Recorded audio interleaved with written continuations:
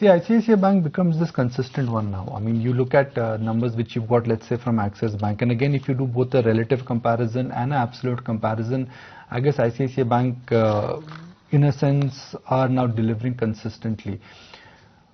Uh, IndusInd Bank, well, numbers were not that great, but OPEX cost has gone higher, which means they were in line with estimates, but their numbers have not been that consistent. Axis Bank disappointed, and HDFC Bank has their own set of issues.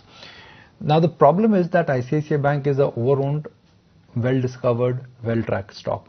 And financials in general are getting selling because of not technical factor, not because of fundamental factors, because of technical factors, which is FI, the selling, they own a, they own a, banks and that's that's where I guess the selling seems to be coming in.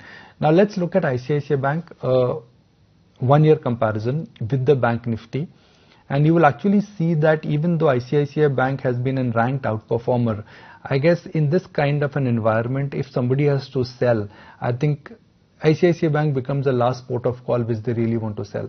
So it is outperforming the bank nifty quite handsomely. And the more you stretch, you'll realize that it is outperforming every other major bank quite except in the bank quite handsomely in the private banking space. So this becomes this go-to stock. Dr. Reddy, impressive set of numbers. Uh, the cycle seems to be turning. Things indeed are looking up for them. Indigo has been in performing stock. Now numbers were not expected to be strong, so they are in line with estimates. You don't track a company like Indigo on a quarterly basis to judge. So Indigo is more like a long haul stock when you're buying on the fact that uh, they will gain market share or retain market share, Indians will fly more, efficiency is kicking in, crude is down. So Indigo is not a quarter on quarter uh, deal as it is, so nothing changes incrementally there. ICICI Bank is steady and Dr. Reddy is positively surprised.